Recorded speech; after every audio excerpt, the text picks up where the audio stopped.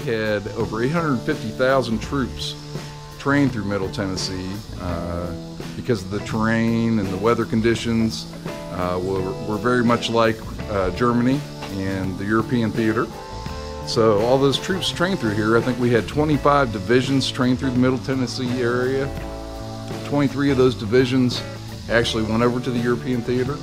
Uh, so I wanted to show you an area that we found. Uh, one of my friends, uh, we're going to head into those woods over there and uh, we're going to check out where the soldiers stayed uh, as they practice their red and blue maneuvers.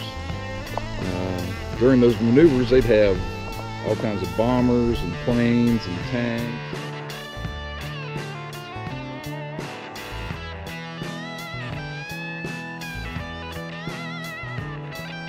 They'd use uh, flour grenades and flour bombs. Uh, they had umpires to say when people were out, basically like a big war game, right? That's, that's what it was. It was a big war game.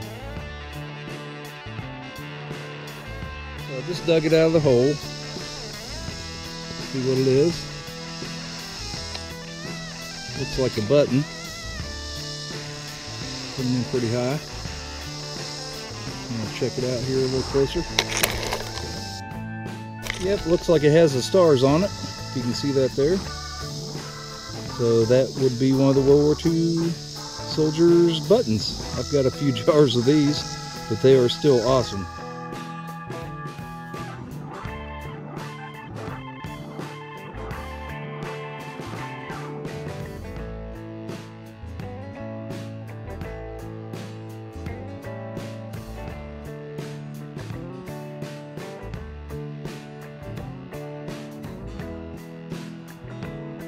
I got a decent signal. Uh, I always find these kind of neat. So I just dug this. This is uh, something, uh, a tube the soldier would have uh, buried uh, after he was done using. So I was going to unroll it and see what, uh, see what it says.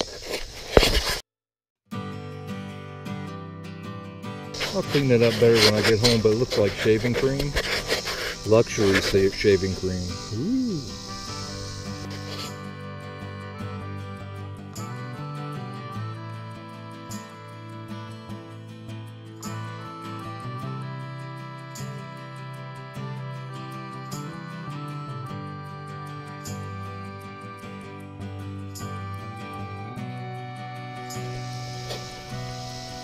I don't know if you can see it or not, but I got another signal here.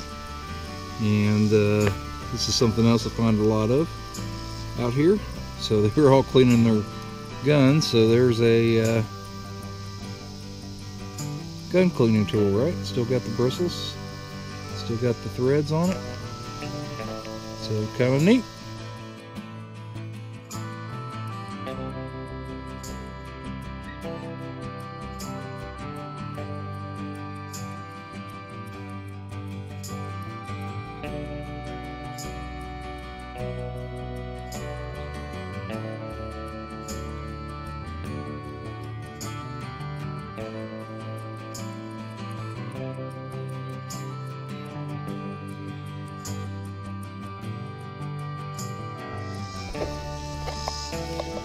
And uh, this is something that the soldiers did, so over 70 years ago, right, for World War II. Soldiers were in the area, and they actually built this uh, bench. And it's still sitting out here. I always find it neat that this is just sitting out here on this 100 plus acres. And uh, I've ate my lunch here a few times, as I've been out metal detecting. But uh, they did a pretty good job, huh? But just sitting out here in the middle of the woods, this is one of the things that kind of gave them an uh, idea that there was something happening out here, along with uh, campfire rings and then the bunch of foxholes dug, which look like, you know, just holes in the ground. But I'll show you some of those here in a little bit so you know what those look like. In case you're walking around somewhere and you see them, you'll know what they are.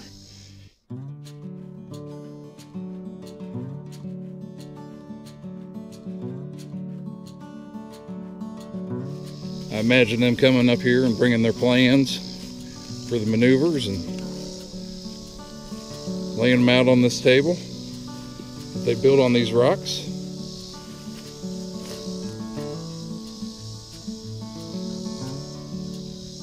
And uh, checking them out, talking about what they were going to do with all their troops.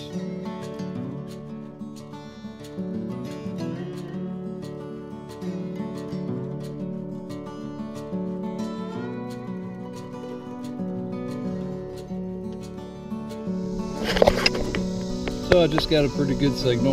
I thought it was probably uh, shells from the range, so I didn't tape it. but looks like it's a coin. I see it right there. Popped out of the hole, wasn't too deep. Sitting here in this glade, right at the edge of the property. Uh, we found a lot of Jeeps drove up through some of these of the old roads and whatnot. The glades, because I've got Jeep parts and whatnot. But that's definitely a coin. On the back of it, I think it's a Wheatie. So that would definitely be from the soldiers. So they were up in here. Found a ring down in there at one point. Yep, it's a wheatie. So it looks like uh, I always check my hole again. Uh, also always cover my hole. But anyways, looks, looks like I have another signal in there, probably a penny. You can see I got high 70s to 81 so must have been a pocket spill so let's see what we can uh, find here. See if we can do this one-handed.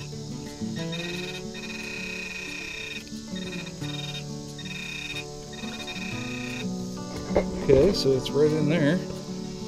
The other one was a 1935 by the way. Let's see what we find here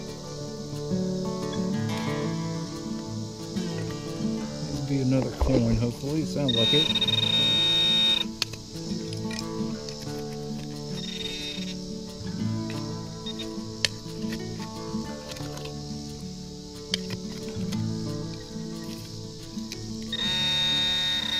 Okay, it's out of the hole. Yep, another coin. Let's see what we got here. It's another coin. Let's see what we got. It looks like another wheatie. Again, I'll have to get the date off it. It's like maybe a 1931. I'll check when we get home.